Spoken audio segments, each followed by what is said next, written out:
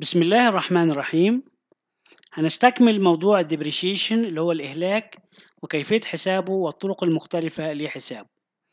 طريقة ال decline balance method طريقة سهلة وبسيطة آه، لكن في بعض العيوب الخاصة بيها.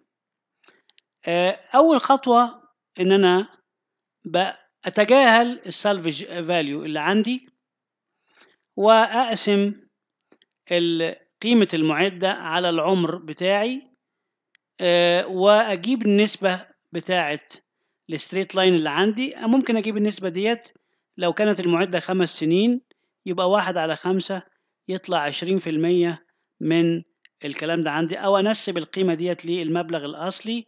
وبعدين بعدين أبدأ أقول والله العشرين في المية ديت أعمل لها duplication أضربها بقت أربعين في المية. For the first year the cost of the assets يبقى معنى كده عندي ال depreciation rate اللي عندي هيساوي قيمة المعدة في السنة القيمة قيمة المعدة في السنة الأولى اللي هو ال book في أربعين في المية يبقى الإهلاك بتاعي هيجي بهذه الطريقة. يبقى الأربعة وعشرين ألف الأربعين في المية بتوع الأربعة وعشرين ألف تسعة آلاف وستمية. 9600 دول يمثلوا قسط الإهلاك بتاع السنة الأولى.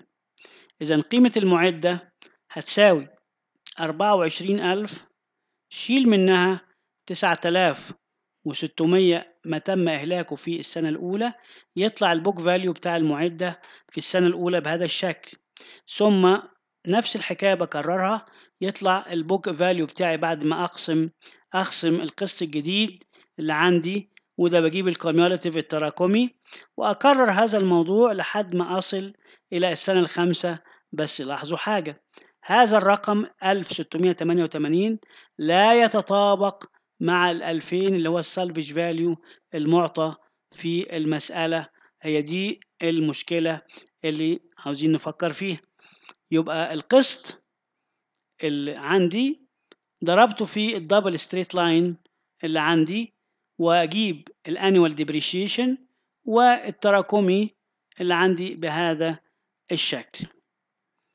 المسألة اللي عندي المشكلة اللي فيها لم يتطابق الريزيدوال فاليو في نهاية العمر مع الرقم الألفين لكن طلع رقم آخر مختلف ألف تمنمية ستة وستين. طيب ده الرقم والرقم اللي عندي مفروض هو ألفين. يبقى في فرق تلات آلاف مية وعشرة عشان أنا أوصله لألفين اللي هو خلي بالك تلات آلاف مية وعشرة اللي هو القسط أو قيمة المعدة البوك فاليو في السنة الرابعة. إزاي أنا أخليها تصل إلى ألفين؟ ما تصلش إلى ألف تمنمية ستة وستين ده التعديل اللي عندي. يبقى تلات آلاف مية وعشرة أعتبرها هي الإند طبعا. في السنة اللي عندي وأحط الرقم مش مضروب في أربعين في المية. أجيب قسط الإهلاك بناء على ال salvage value كأن ال book value بتاعت السنة بداية السنة ناقص ال salvage value هيديك قسط الإهلاك. يبقى بطريقة عكسية أقدر أجيب القسط الإهلاك اللي يخلي ال salvage value اللي عندي متطابقة مع المسألة اللي هي الألفين اللي عندي. فهمتوا الحتة دي يا مهندسين؟ طيب. آه دي مقارنة ما بين ال straight line method وال declining balance method. طبعا دي قسط ثابت ودي قسط بيتناقص من سنة إلى سنة.